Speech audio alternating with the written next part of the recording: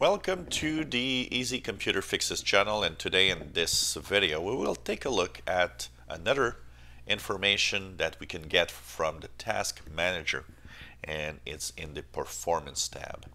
So right click at the bottom on your taskbar and go to task manager.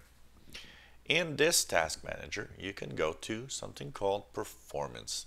This is a very interesting panel because when your computer is running slow or if you're wondering if your computer is using the maximum of what it can with all the hardware and the resource that it has, the Task Manager Performance tab is cool for that. The first thing that you'll see is CPU. CPU, that's the central processing unit. That is what is the brain of your computer. That is partly why your computer can be slow or fast. It's not just the reason. There's an ensemble of things that makes your computer uh, perform. But the CPU is interesting. First of all, you've got CPU. You've got what type of CPU you have. So here on my computer, I've got an Intel Core i5 at 2.5 gigahertz. Then you've got a graphic that shows the CPU usage. For example, if I just move my mouse real fast, just that makes a little bump in the CPU activity, which is totally normal. So it's how hard your CPU is actually being used. And of course, at the bottom, you've got utilization, tells you how hard it's working right now. For example, mine is at 9-10%. That's very low usage. But of course, it could be higher than that depending on the CPU you have, the computer you have. And, you know, technically, the older the computer you got, the more it will be utilized because as time goes by, software and even the operating system requires more power. So it kind of increases slowly with time. You've got the speed. Now you might notice the speed is different from the one on the top right. My CPU is at 2.5. Why is it going at 1.18 right now? Well, that's called uh, simply throttling out of speed. Back in the past, many years ago, CPUs were always running at the maximum speed. That was how computers were designed. Then at some point, there was speed throttling that was kind of introduced. Speed throttling is simply taking the CPU, looking at what your computer needs, and just throttling down the CPU speed to what is manageable. When your computer doesn't work hard, why does the CPU have to work at the maximum speed? It's not logical. So today's CPU actually throttled down and up in speed depending on what you do. So that's why if, for example, here I, you know, throttle down and up and, you know, go to the different things, you see here that it, the speed went up, it bumped up at 2.45 at some point, then went back down.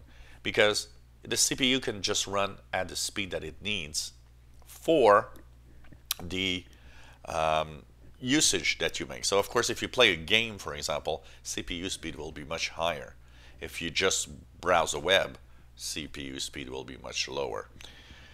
Then you've got, of course, the number of processes that the CPU is working on, the threads and the handles, which are kind of a breakdown of the different uh, instructions that it needs to actually process throughout all of that. You've got the uptime, that means the computer, how long it's been working basically. And then you've got maximum speed. You've got sockets, that means, you know, uh, most computers is one because there's one CPU and that's it. But some high-end computers might have more than one CPU to actually make things even faster. Cores, this is the number of cores within the CPU. This is 2. Then there's logical processors. This is kind of a virtualization of CPU. And it usually, most of the time, is pretty much double the cores.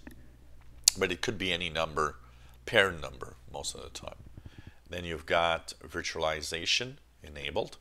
And then you've got the cache. Cache is kind of a memory spot. Inside the CPU there's a, a, little bit of memory. What is a cache? Well it means that when your CPU for example is using um, a specific instruction more often than any other, what will happen is that that instruction will be cached because accessing the memory is much faster than having to recall that instruction again. So by using cache, you can actually make things faster as it can store all the things you do or the CPU does quite frequently. And one last thing you might ask, when is CPU usage too high? Typically, one of the things you need to check out, if CPU is 100% all the time, something's not right. Yes, it could be 100% or 90% for a certain time depending on what you do. And that's okay. It might move up and down all the time. That's okay. But if it's stuck at 90 plus percent all the time, something's quite wrong. Now you might want to look at all the software you've got installed and what the computer is doing by looking at the processes that we've actually talked about a little earlier, seeing how much, you know, what process is using all that power. Uh, there's a lot of different things that could make your CPU uh, usage very high. And uh, some of them could be uh, viruses, malware. It could be simply your computer, you know what, it's time to reinstall Windows, for example. It could be your computer is very old and it has a lot of difficulty just coping with what everything is being done within your operating system. So there's a lot of things. It could be a runaway process. It could be a program that's crashed and it's not just not working right. So um, these are things you got to check out and be careful about. So this is a CPU tab. We'll have, of course, a different video for every other tab, memory, disk, Ethernet, and Wi-Fi, and check out all of these details. If you enjoy my videos, please subscribe, give us thumbs up. Thank you for watching.